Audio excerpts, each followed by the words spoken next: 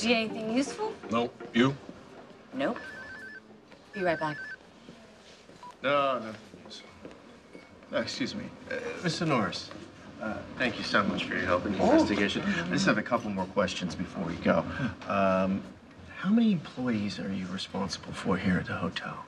I supervise 210 employees. Wow, that is a lot. Have you ever seen your mother naked? What? No! Well, we'll leave that alone for a moment. Let me ask you this. Have you ever looked at Callie Carlson in a sexual way? No.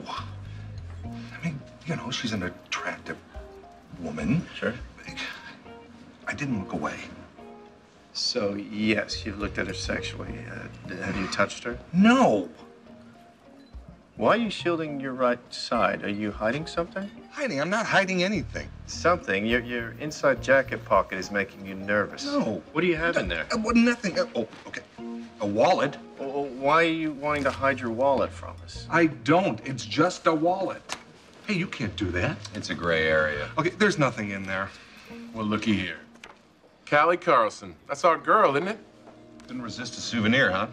Okay, I have never seen that before in my life. Really, has this wallet been out of your possession recently? No, but I swear, I, I have never seen that before. I swear to God. Well, I tell you what, Mr. Norris, why don't we talk some more downtown? See if we can solve this mystery. No, no, no, no, no, no. I have got a hotel to run. I, I can't. Well, no, well, wait a second. He's our suspect. Looks like he's ours to me. No, no, that's not fair. Fair? What are you, seven years old? Fair. Tell you what, you give us Lorelei Martins, we'll give you this guy. That's fair.